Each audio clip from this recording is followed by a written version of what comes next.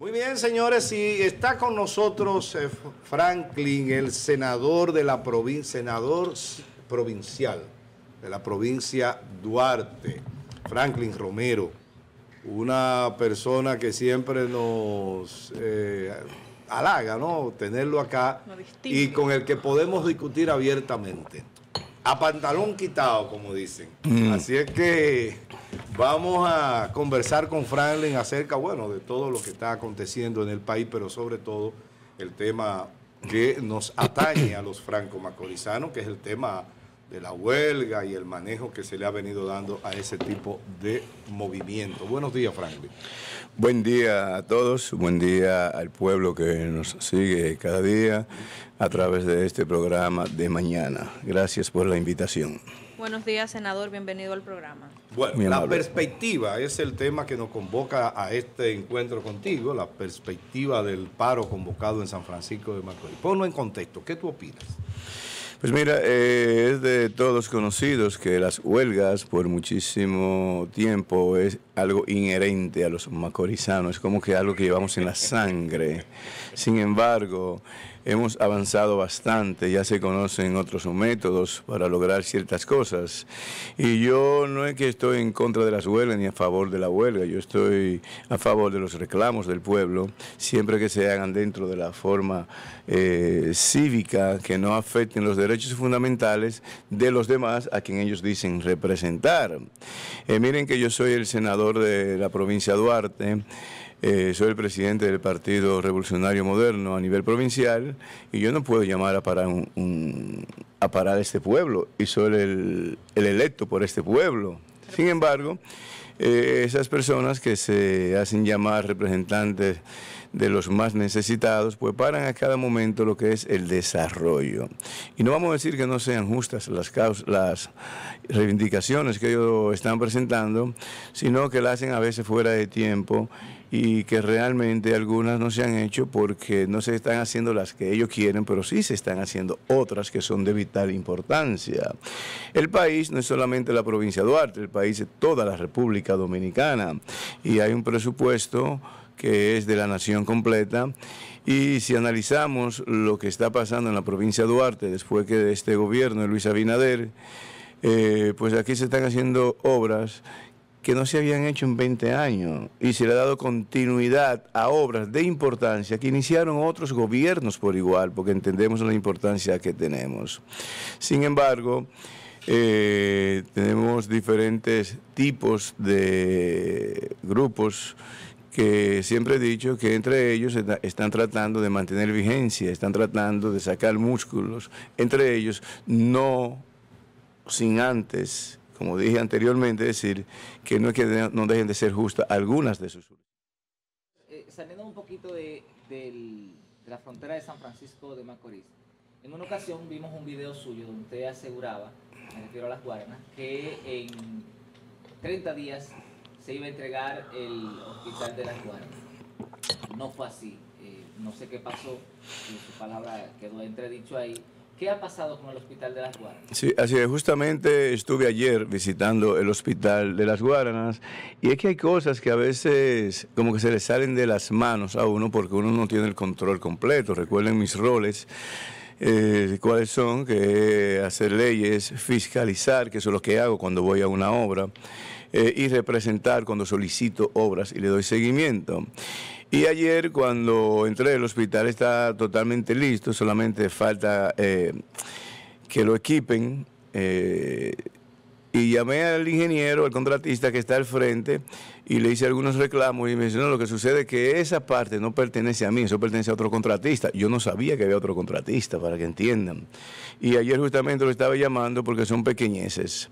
La eh, estuvo acá, Franklin, con el perdón tuyo y dijo que... Pero escúchame, para con detalle, ya, es verdad que ponen en tela de juicio la palabra, la palabra nuestra, y eso tiene que ver eh, a veces con falta de voluntad, tiene que ver también con con recursos que a veces los recursos no le llegan al contratista, el contratista no tiene la solvencia para terminar y esperar a que le paguen. Y yo te puedo decir que cuando yo anuncié el hospital en aquel momento que en 30 días iba a estar listo, eran 5 millones de pesos que hacían falta. O sea, una tontería. Sin embargo, no, igual yo se lo dije al contratista, hágalo, y él empezó a hacer su parte, eh, porque me tomó la palabra a mí. Pero yo tengo la, yo tengo esperanza que realmente en breve, eh, ya en pocos días, nosotros estamos entregando ese hospital, que déjeme decirle, eh, se empezó con una obra y se agrandó la obra casi un 30% de lo que se inició. Ah, pero muy bien. Dice la El tremendo hospital. Dijo la gobernadora que ya está la, empleomanía, está, Que está nombrado, Está nombrada. Bueno, recuerden que el hospital existía, que nosotros Sí, lo que sí, sí, estamos haciendo es un claro. remozamiento y esa empleomanía está por ahí en algunos otros hospitales. Recuerden que aquí se iniciaron a remozar todos los hospitales de la provincia, sí, por eso sí, colapsó realmente el Hospital San Vicente de Paul, porque todo el mundo tuvo que venir acá. Tenemos el Hospital de Villarriba, que ya se está justamente terminando, tenemos el Hospital de San de, de Cenoví, que también se está concluyendo, y tengo que ser sincero realmente. Señores, las obras se hacen con recursos, y hemos estado escasos de muchos recursos para concluir las obras. Antes, tú tenías un contratista de una gran solvencia económica que financiaban los proyectos a los gobiernos. En nuestro gobierno no ha sido así. Tanto así que hemos tenido que utilizar los contratistas que eran del PLD, que financiaban las obras del PLD y a nosotros no nos financian porque ya te dejaron todo contratado. Pero realmente yo creo que estamos avanzando. Eh, no hemos logrado la cosa en su curso, pero sí se van a, a- a concluir. Senador, entonces, viniendo a San Francisco de Macorís, eh, las obras que se están realizando, como el Hospital Regional, la Avenida Circunvalación, la apertura de la calle 14 de junio, pónganos en contexto de la ma- forma más puntual que lo pueda hacer, porque tenemos mucho tiempo eh, hablando del tema y no se ha podido Mire, finalizar. eh, la calle 14 de junio realmente se inició apenas Sí, hace, hace ese 30 días y es una iniciativa del alcalde actual, Alex Díaz, en colaboración con el director del INDRI, Olmedo Cava, que está manejando la parte del agua. Hay, una situación que no es simplemente abrir una calle, Sí. hay una situación que todo el agua de todas las urbanizaciones cae justamente en la 14 de junio y hay que hacer un trabajo muy amplio y el INDRI está colaborando. La obra va muy bien. Y como dije, es una iniciativa que la había anunciado antes eh, el alcalde Siquio ONG y realmente la inició Alex Díaz en colaboración con Olmedo Cava eh, a través del INDRI. Lo que tiene que ver con el hospital, el hospital nunca se ha parado, esa obra nunca se ha parado. Ese hospital siempre ha estado trabajando. Lo que sucede es que no es un hospital, eh, no es una clínica rural, no es un hospital de un municipio, un distrito, es un tremendo hospital regional que nosotros nos vamos a sentir orgullosos. Ese hospital, cuando nosotros llegamos al gobierno, tuvimos que rehacer inclusive los planos, retomar todo. Eh, y tenemos un hospital que subió de 200 y algo de camas a más de 300 camas que vamos a tener. No un hospital que se va a terminar completo ahora, como se está pensando, eh, que dijimos que lo íbamos a entregar en una fase, la primera fase, la segunda fase. La tercera fase, que realmente es la parte de atrás del hospital, se tomará cerca de 12 a 18 meses terminar la parte de atrás del hospital. Sin embargo, ya la parte más importante para mudarnos se está equipando, porque el pueblo ha pedido que no eh, se termine completo, sino que se le dé importancia a lo que tiene que ver con la parte quirúrgica, los quirófanos, las emergencias, que son una necesidad que tenemos acá. Y tenemos que ir paliando poco a poco. Pero el hospital nunca se ha parado. Justamente le puedo decir que para el presupuesto de 2025 tenemos 791 millones de pesos que se le tienen que inyectar a ese hospital. Y no con eso se dice que se puede concluir lo que es obra gris. Como también tenemos 315 millones para los apartamentos que se van a iniciar prontamente ya, que es el completivo, los apartamentos del Barrio Azul, 354 apartamentos. Que es bueno decirle, Amado, que voy a convocar a la sociedad eh, prontamente en las próximas semanas eh, para presentar el presupuesto que está presentando el Ejecutivo para nuestra provincia. Provincia. Y que podamos discutir, que podamos mirar y que realmente podamos ver qué es lo que estamos haciendo. Presupuesto. ¿Qué es lo que es el presupuesto? Lo que vamos a supuestamente a gastar el próximo año. En la Entonces, provincia. Es como una especie de vista pública que usted pretende hacer. No, yo no quiero hacer una vista pública, yo quiero poner de conocimiento lo que el Poder Ejecutivo está poniendo para que nosotros aprobemos. Sin embargo, cuando aprobamos ese presupuesto, que es una responsabilidad de los senadores y diputados, aparecen obras que no estaban presupuestadas, que hay que también buscar el dinero. claro. Entonces hay cosas que al, al principio yo no las entendía, pero he tenido que aprender a, a, a entenderlos, a edificarme al respecto. Eh, yo le puedo decir que ahora mismo solamente de la cuenta presidencial hay 2.226 millones de pesos para esta provincia. Y con eso no contamos las diferentes instituciones que vienen a hacer obras eh, que tienen un presupuesto independiente.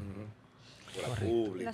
La avenida Circunvalación, ayer también la anduve, porque yo estuve en el, en el llamado huelga, yo anduve toda la ciudad ayer.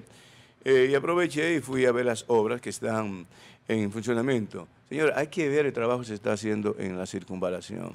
También podemos decir que la avenida Circunvalación se empezó con dos carriles y ya está ampliado casi a cuatro carriles en su totalidad.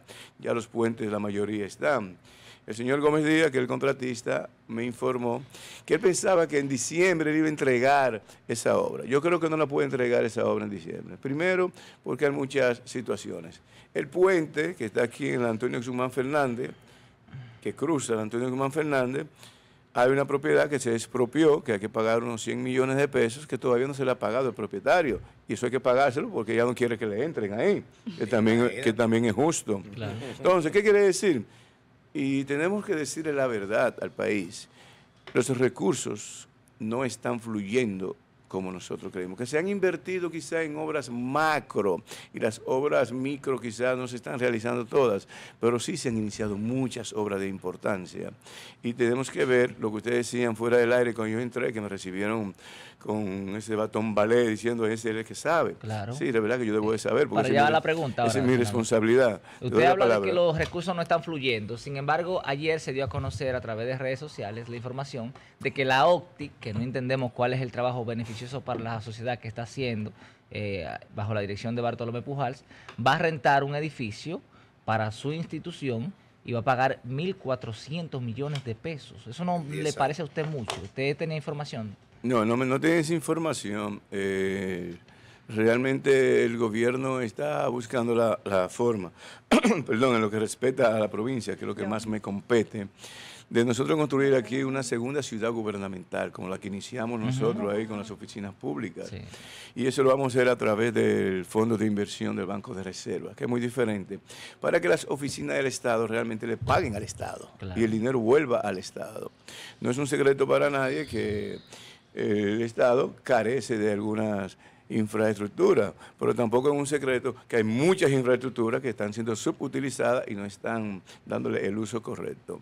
Eso nosotros tenemos que verlo porque esas son las cosas que realmente deben ir al Congreso para nosotros aprobarlo y que los funcionarios o antojos no quieran tener una oficina.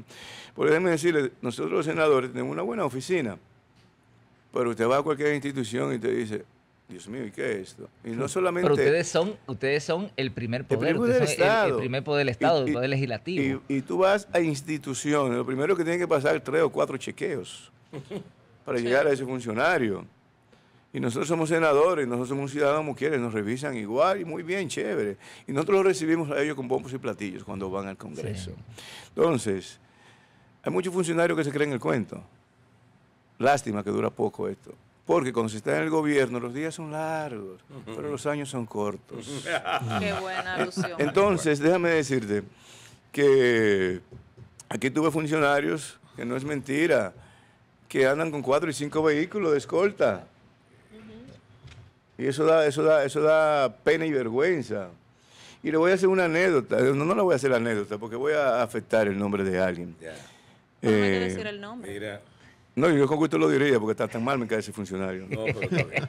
Mira. de su partido. Sí, lógicamente. No hay funcionario de otro, bueno, hay funcionario de otro, hay funcionario de otro partido, pues ya son nuestros. Ah, Pero de- llevemos las cosas en paz. Entonces, la circunvalación, excelente, va viento en popa. eh, yo creo que nunca se ha trabajado como antes. Y déjenme decir algo de la circunvalación. A veces creemos que una obra se puede hacer en dos días, en tres días. Señores, no es así. Y yo te puedo admitir, yo tengo 11 obras como veedor, que es el proyecto 3R, y son las únicas obras que se han inaugurado son el proyecto sí, 3R. efectivamente. Puente Ugamba, la fortaleza que se convierte en la séptima brigada, para que la gente sepa la importancia que eso es lo que tenemos, y los 128 apartamentos. Esa es la obra de más importancia. Y- y Bellas la Artes, parte de la. Cañada Grande, y la parte de la Cañada Grande, que está haciendo el Medocava. Pero que no han continuado. No, obras que se parada. ven, O sea, ese proyecto. obras que se ven y están paradas, no, están paradas ahora justamente por los recursos Pero que no se, le han se- llegado se para resolvió, parar. miren, que aquí esa parte hay que ser muy objetivo. Antes toda esa zona de la Sánchez se inundaba y por lo menos con la primera fase ya no, No, y se inunda. Y eso totalmente. realmente es un impacto Y la gente cree, ah, el agua que corre, no, el agua que corre no, es la salud de los Sí, ciudadanos claro, que están se, ahí. se a- a- inundaba todo eso por ahí. La gente Que tenía déjeme decirle, los ciudadanos no han dejado de tirar todo lo que quieren tirar por ahí Wow. tampoco. Oye, te iba a decir eso. Ayer, el domingo, yo andaba en la, en la, en la marcha. La marcha de, Del cáncer. La caminata, la caminata. que, que debo disculparme públicamente porque año tras año yo Sí, sí, no y estábamos juntos en la proclamación de la Constitución correcto. Ok. el domingo. Todo Domingo. claro, claro. Tenía ese compromiso y eso es entendible. Mira, ahí yo vi pedazos de nevera, de aire acondicionado. Eh, cuando pasamos, porque uno pasa por ahí en vehículo y no se fija, pero a pie yo me quedé sorprendido. Sí. Pedazos de nevera, eh, aire acondicionado, muchísima basura, madera. En los dos puntos a donde- Increíble. a donde la cañada está al aire, Ajá. hay dos centros de reparación de neveras y yo creo que ellos son los responsables de, de esa clase de basura. Mira, Ay, ay, Dos ay. hay, hay una persona que, que, que a veces cuestionada por su actitud, por su forma de ser, que es Alex Díaz, el alcalde. Y realmente yo te puedo decir que aquí el único que tiene los timbales, y me excusan la expresión, para resolver las cosas y tengo que apoyarlo es Alex Díaz.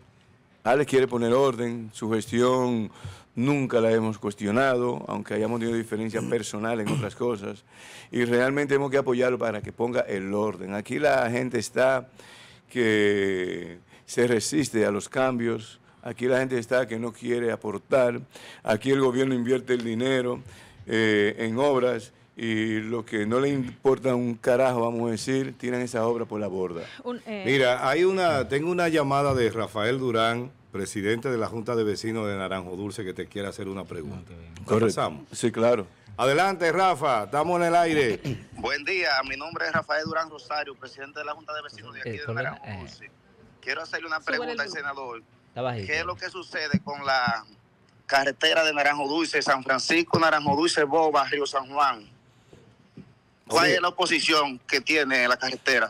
Ok. Eh, justamente, Gracias, Rafa. justamente, buen día, Rafa. Justamente estaba hablando aquí con el doctor Amado Rosa respecto a eso, que me preguntó que si era cierto que yo había comprado un terreno hacia allá arriba, y le dije que no, que ni regalado yo cojo un terreno en Naranjo Dulce, por la sencilla razón de que yo he asumido esa causa. Es la única resolución que descansa en la Cámara de Diputados, es el único descenso que se ha hecho para esa carretera eh, de diputados, que lo hicimos en Naranjo Dulce, lo hicimos en San Juan, y fue aprobada. Esa carretera realmente se puso en presupuesto y por un problema de ambiente, medio ambiente, donde hay unos ambientalistas que se oponen a la obra y le han susurrado al presidente de que esa obra no cumple con los requisitos porque afecta el medio ambiente, Pero Eh, cosa se- que está fuera de la realidad, porque esa trocha ya está hecha Pero se hizo el completamente. estudio de impacto ambiental. No, ahí no, se- ahí no se hizo estudio de impacto ambiental. ¿No sería bueno hacerlo, Se senador, está pidiendo que... No, yo creo que lo que hay que hacer es la carretera ya, porque ya la carretera está hecha. ¿Voy a entender?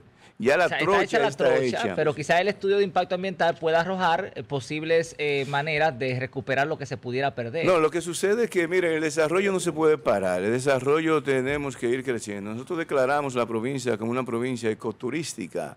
Y ahí solamente con eso, ahí tuve la necesidad. Lo que sucede es que hay también gente que hay cosas que no se ven que no la quieren hacer. Y hay que admitir, hay incluso personas dentro del partido que se han opuesto a esa carretera eh, porque entienden que hay que darle prioridad a otras obras. Y yo digo, ¿por qué no hacemos las dos? Sí. para mí es una necesidad. Y voy a seguir insistiendo.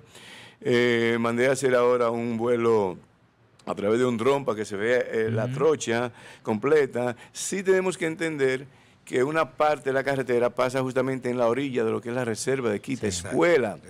Pero, ¿qué hubiese sido de Samaná y la terrena si no se hace la carretera de Santo Domingo a Samaná? Bueno, Mira, Correcto. tu colega y amigo de long time, como dice Pero el desarrollo, Julián López. escúchame, Amado, el desarrollo, eh, senador, debe ser sostenible, porque no Debe puede ser golpeando la naturaleza eh, de forma tal que no se pueda recuperar. Pero Por eso justamente- quizá el estudio, justamente ha dicho quizá el estudio pudiera buscar un equilibrio. Pero has dicho la palabra Claro. recuperación.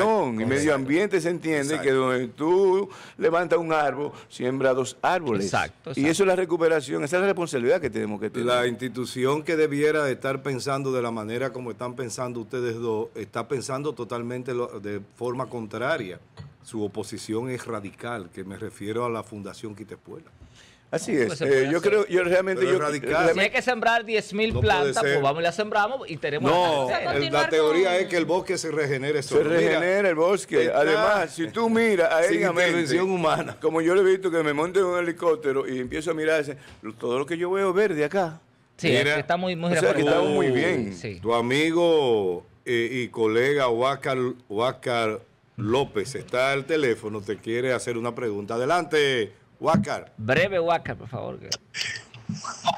La pregunta es, eh, hay un proyecto interesante en el cual se ha pensado para eh, conseguir fondos eh, para el Estado. Por ejemplo, la mayor parte del país tiene que los solares, las propiedades, las viviendas, están bajo control del ayuntamiento. Arrendamientos. Si sustituimos esos arrendamientos, un proyecto de ley, por ejemplo, para que los ciudadanos sean dotados de títulos y la transferencia va a provocar que las personas para obtener esos títulos paguen un impuesto Sí, de acuerdo a una previa evaluación de las edificaciones. así es. Correcto. Entonces, en ese sentido, los ciudadanos tendrían sus títulos, se, se sacarían esos arrendamientos de los ayuntamientos. Las personas tendrían acceso a bancos para generar recursos, para conseguir préstamos, para resolver un problema de salud, para hacer una inversión, para mejorar sus viviendas. Bien. En el país entero, la mayor parte de las propiedades en las ciudades son arrendamientos. Bien, La bien, mayoría bueno, muy bien. años para pagar esos arrendamientos Sí. Bien, a los ayuntamientos. ¿Qué le a- Él parece no, a hizo, usted la idea? él- él no hizo la pregunta, él, presen- él presentó la propuesta. Presentó la propuesta. Exacto. Y, y es muy bien, porque yo conozco, Claro, no claro. en el país entero, solamente cuatro municipios, solamente cuatro municipios tienen la calidad de que toda la zona urbana pertenecen al ayuntamiento y nosotros somos uno de ellos. Correcto. Todos los, incluso, no solamente en, en la zona central aquí, en el polígono central, tú te vas a urbanizaciones que eso pertenece al ayuntamiento. Yo creo mucho en eso porque realmente hay que buscar los recursos, hay que buscar la liquidez. Y eso es una forma de que nosotros tengamos el mejor ayuntamiento, que no tengamos que tener necesidad del gobierno central. Aquí nosotros podemos durar 20 años recibiendo dinero eh, que va a cuatriplicar el ingreso que tiene el presupuesto a través. Y yo te voy a poner un ejemplo. Un supermercado frente al, al mercado, que eso es del ayuntamiento. Y ahí hay, una, ahí hay una infraestructura de millones y millones de pesos. Pero ese señor no tiene, como dijo él, un título para ir al banco a solicitar y poner eso en garantía. Entonces, si eso le cuesta 500 millones de pesos que debe de costar ese terreno y tú haces un acuerdo a través de catastro, a través del Consejo de Regidores, con el alcalde, con toda la ciudadanía, y hace una venta de eso condicionada, el dinero que va a ingresar al ayuntamiento es bastante y se puede salir adelante. Yo estoy de eso. Yo creo, la gente le teme a lo que es la privatización. Yo creo en la privatización en muchos aspectos. ¿Cuáles son, cuáles son las, las, las instituciones que, son, que están privatizadas? Que, bueno, la compañía de teléfono. La compañía de teléfono, si a los cinco días tú no pagas, te cortan el teléfono, pero te dan el servicio. Sí. Continuamos. Tenemos una pregunta de Carolina. y Nosotros creo hemos, tenido, tienes- nosotros hemos tenido suerte de tener buenos senadores. Sí, sí. Esa sí. parte hay que Sí, sí, claro, claro. Sí. Sí. Destacar. Dicen, Buenos que los, senadores- di- dicen que los buenos senadores son Camilo y Romero. Sí, sí. Romero. Sí. Romero. sí. Romero. Romero. No, pero Ceballos. Ah, doctor Ceballos. Sí, espérate. Sí. Carolina. Dos cosas. eh, Sería importante, senador, que usted informe un tema que se ha tocado de la elección de la locación donde están nuestras Fuerzas Armadas, séptimo batallón decía. Séptima brigada. Séptima brigada.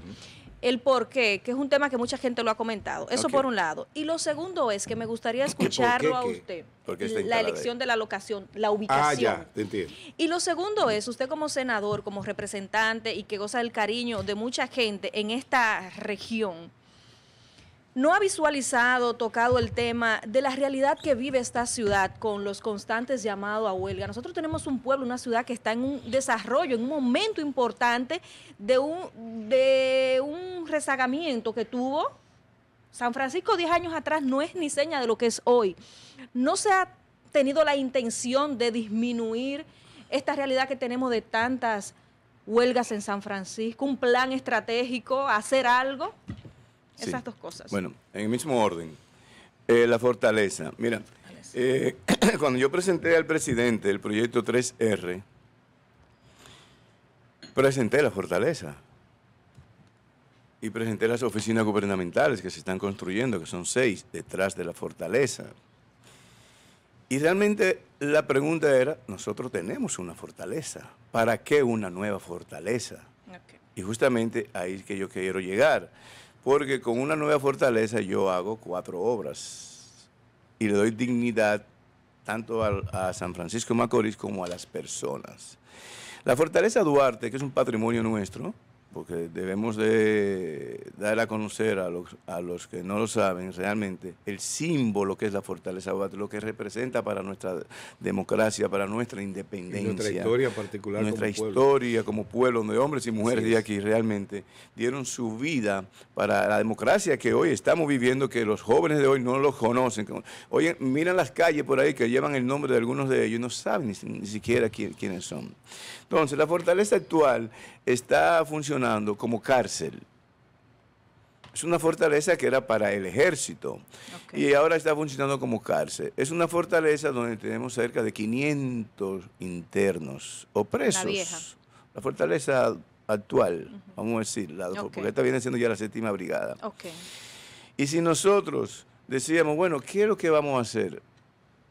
Si no hacemos una fortaleza para sacar los guardias de ahí, el ejército de ahí, y tener entonces esa fortaleza y sacar los internos a otra dependencia, no podíamos entonces construir ahí y salvar el patrimonio como la Escuela de Bellas Artes, que es lo que estamos haciendo. Primero, construimos una nueva, una nueva fortaleza. Construir, estamos en busca del terreno para una nueva cárcel.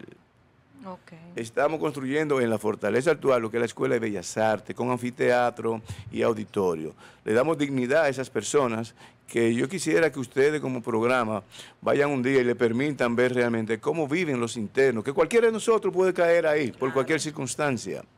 Sin embargo, lo que hay es un hacinamiento total. Sí. Esa persona vive uno encima del otro, eso es un hacinamiento. Y lo que yo pretendo es que esa persona tenga dignidad. Salvar la fortaleza como patrimonio, convertirla en la Escuela de Bellas Artes, que en vez de que los hombres, los adultos lleguen allí como presos, que lleguen allí los niños a prepararse en Bellas. Artes. Por eso fue la idea de construir la fortaleza aquí. ¿Por qué en ese lugar específicamente? porque ahí habían 20 mil metros que pertenecen al Estado, donde funcionaba Inespre, que era un elefante blanco, y nosotros lo que podíamos construir una fortaleza en cualquier lugar, pero tendríamos que comprar un terreno.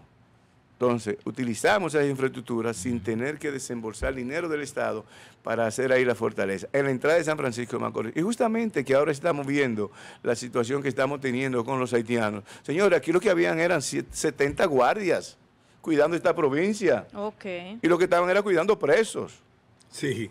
Entonces, Y tra- y ahora, trasladándolo al palacio. entonces esa fue la idea de por qué hay, ah, mucha gente se opuso, porque la gente se resiste a los cambios. Porque que se ve un- una imagen gris, que... No, se ve precioso, se ve precioso y motivador para tú ver a los jóvenes que están queriendo participar ahora en, en entrar al ejército ahora. Eh, en los tiempos nuestros, cuando no tú, Carolina, porque eres la más joven de nosotros, pero en el tiempo de estos tres caballeros estábamos aquí. Sí. Nosotros disfrutábamos ver cómo salía el ejército a correr Sí, por la calle, cómo sí. nosotros nos motivamos. A las Y seis de la a- mañana a- voceando. Algunos llegamos solamente a, llegamos a Boy Scout, pero lo que queríamos era entrar al ejército, por lo que estábamos viviendo. Sin embargo, yo lo veo como una motivación, porque ¿qué está pasando con los jóvenes? Y voy a ser sincero en esto. Si nosotros tuviésemos una situación de país donde esté en juego la soberanía, aquí no hay un joven de 18 años que realmente sepa cómo defender esto. Franklin, en vez de una cárcel nueva, como tú acabas de plantear, ¿no sería más conveniente construir un edificio o dos en, en Vital Valle? Cárcel. No, pues, eh, tú eh, mencionaste que no, no tenemos, ya hicimos, terreno para otra No, ya hicimos el levantamiento. Entonces, yo le hablé de tres o cuatro obras. ¿Qué es lo que tenemos en planes? Que ya el presidente está eh, al tanto, consono con eso. Que Vista el Valle ya no puede estar ahí, Vista el Valle. Ok, ya. Entonces, nosotros estamos buscando un terreno donde vamos a, a construir una cárcel de más de mil internos, que es lo que necesitamos. Y ese poli- esa cárcel que tenemos en Valle, convertirla en un politécnico. Excelente. Y ahí solamente tenemos que remozar, construir dos galpones y vamos a tener el mejor politécnico de la región. Así tenemos la nueva cárcel, tenemos el politécnico, tenemos Bellas Artes y tenemos la séptima brigada. Y le damos dignidad no solamente a, a los internos que están ahí. Porque recuerden que, lo- que cuando decimos internos que están presos, no quiere decir que sean unos delincuentes. Hay personas que han cometido un delito, un delito y no quiere decir que sean delincuentes. Senador, escúchame que lo interrumpa. Eh, ¿A qué tiempo estaría proyectado eh, esos proyectos? Porque veo que es un conjunto que al fin y al cabo buscan, eh, son varias obras que buscan un, un mismo fin, es como interconectar. Déjeme decirle, eh, nosotros no hemos iniciado la cárcel, que todo tiene que tener un proceso de licitación, aunque el dinero está. Y le voy a decir por qué está. Porque quien tiene el dinero para construir el Politécnico es educación. ¿Qué va a hacer educación? Que nosotros cediéndole lo que es Vista el Valle, la cárcel Vista el Valle, nos da el dinero para nosotros construir la nueva cárcel. Entonces, no tenemos el terreno. Estamos buscando un terreno que sea del Estado para que sea menor el costo, que son 60 tareas. Ya el alcalde y yo nos movilizamos a un lugar que está por ahí en, en llave, por llave que le dicen, entrando por queso le haga. Ah, eso fue lo que recuperó Siquio. Que si yo lo compré una vez para un vertedero y ya visitamos ese lugar a ver si lo podemos hacer ahí. Entonces, ustedes saben que todo ahora con compras y contrataciones es un proceso, pero la Escuela de Bellas Artes ya está lista para licitar, tenemos el diseño, tenemos todo listo, pero tenemos que sacar eh, los internos de ahí. ¿Qué queremos hacer? Y Amado, que es un especialista en la materia, eh, sabe que movilizar a los internos es un caso difícil. Tenemos cerca de 500 internos, donde apenas 173 internos, cuando de- pasaron el dato, son de la provincia. Sí, todos Los demás no son de acá. Santiago. de- del país entero. Entonces esos internos deben ir a, a lugares donde estén cerca de sus familiares porque lo manda la ley. Claro. Entonces nosotros tenemos que salir de eso, es un proceso. Y como yo siempre digo, las políticas públicas es muy buenas hablarlas, pero Sí. hay tres cosas, que es una política pública, la problemática, las posibles soluciones y el presupuesto. lo más importante. Entonces sí, sí yo creo que lo vamos a, lo- que lo vamos a lograr. Bien. A propósito de, de políticas públicas, ¿cuál es la posición de usted como senador de las eh, nuevas reformas económicas que plantea, que piensa plantear el gobierno para solucionar precisamente la escasez de recursos? Ya vimos que se intentó hacer una reforma fiscal que de hecho ya fue retirada. Pero entonces ahora anuncian que hay nuevas reformas económicas. ¿Cuál es la posición de usted como senador o como representante del Senado, digamos, en este? Mire, este el presidente Abinader, eh, aún siendo candidato en campaña, eh, tanto en el 19, eh, que no había llegado a la presidencia, había hablado de las diferentes reformas que quería presentar, cerca de 16 reformas, donde está la constitucional, la fiscal, tributaria, policial, laboral, entre otras.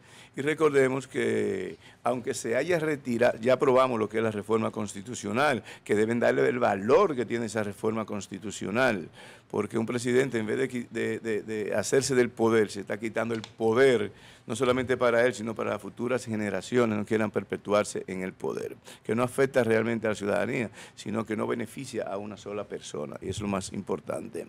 La reforma fiscal, que realmente no conseguimos el consenso, eh, nosotros fuimos a los medios, porque sabíamos de la necesidad de la reforma, que es buscar los recursos por el gran endeudamiento que tenemos, lo que ha cambiado hace 12 años, la última reforma fue en el 2012, y aunque el presidente la haya retirado, no es que no hay una necesidad de buscar los recursos. Ahora el presidente tiene que buscar los recursos de otra forma, porque lo que presentó el pueblo no estuvo acorde. La mayoría de, de los recursos que se iban a buscar, yo entiendo que eran eh, buenos, porque eran de la clase media alta para arriba, que sí necesitan pagar eh, recursos. A mí en lo personal yo decía que me afectaba porque yo soy productor de cine, yo construyo la ley de mecenazgo, que es mi proyecto, y los tres se iban. Yo no pensaba, podía sentirme porque era a mí que me estaba afectando, sino a la colectividad. Ahora el presidente tiene que buscar lo que es la reforma fiscal, cómo eficientizar el gasto público que tenemos, recortar en todos los lugares que tenga que recortar, en el Congreso, lo que le dicen el barrilito, que es lo más estúpido que la gente entiende barrilito porque creen que eso va al bolsillo del senador. Entonces eso hay que enseñar el, el- el- el uso que se le da realmente. Quienes a- lo usan de mira, manera adecuada. antes de que- no, no, lo, no, lo que lo pueden usar de una manera desordenada, yo te puedo decir. Sí. Desordenada, pero no eh, inadecuada y que lo usen a, a su, mira, a su que beneficio propio. retire, yo y ojalá, escúchame, hacerte y, una pregunta y ojalá, y ojalá que De ustedes la me- huelga no podemos cerrar. y ojalá que ustedes me inviten un día para yo presentar lo que son esos, esos barrilitos para que ustedes digan No, si vale la En- en su pena caso, senador. retirar. Mira, hay una situación con el acuerdo de el- lo marítimo de, con los Países Bajos. El Tribunal Constitucional admite o dice que es parte de su función que la Constitución le otorga de que el acuerdo es consono con la Constitución. Pero hay muchos expertos, incluyendo el doctor Subero Isa, que fue presidente de la Suprema Corte de Justicia muchos años, que dice que eso no impide que las cámaras legislativas eh, o el Senado no, no apruebe el acuerdo porque el acuerdo es contrario a los intereses de la República. ¿Qué tú opinas técnicamente de eso? Mira, lo primero es que los acuerdos eh, que ya son internacionales eh, siempre tienen rango de la Constitución, son igual que la Constitución, y lo aprueba el Congreso. Esos acuerdos lo hace realmente el Poder Ejecutivo, entre, se hacen entre los gobiernos, y nosotros lo que hacemos es que lo aprobamos. Entonces, eh, tendremos que analizar, tenemos que estudiarlo. Es muy raro que un convenio que haga un gobierno que llegue al Congreso no sea aprobado. Es muy raro porque realmente cuenta con todas las, la- la- la- la- las cositas que son necesarias que van a favorecer al país eh, eh, base y al otro país que está firmando. Entonces, eh, hay que mirar que no sea inconstitucional porque créeme que el Poder Ejecutivo lo podrá presentar, pero lo va a consultar antes. Bueno, eh, alguien pregunta sobre el local de los bomberos, que qué... Sí, el local de los bomberos, eh, el contratista más malo que hemos tenido, siempre lo he dicho, lo he repetido, no hemos podido, no hemos podido concluir. Es la obra más sencilla, es una obra de apenas 48 millones de pesos. Increíble. No hemos podido concluir con eso. Y las otras, y las demás oficinas que también están paradas hace como seis meses, La huelga, finalmente. es tiene que ver con recursos, con recursos que no han llegado. Pero para aprovechar el minuto Bueno. La y no me corten la huelga. Pide Pues miren, yo siempre estoy presto a reunirme con a, reu- a reunirme con los convocantes a la huelga. Yo no le quito a ellos su derecho, eh, pero hay un derecho más grande. ¿Por qué se retiró la reforma? Porque el pueblo no estaba de acuerdo con ella. ¿Por qué nosotros no podemos apoyar que esta, esta huelga continúe hoy?